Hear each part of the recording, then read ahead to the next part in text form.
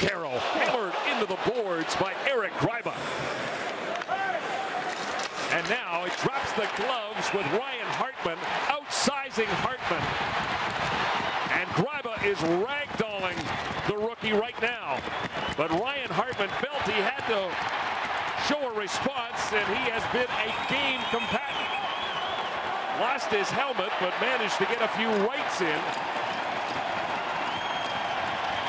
But Eric Gryba came into the game with 105 hits, throws a huge one there, and started the fisticuffs. It, it wasn't even Gryba's best hit.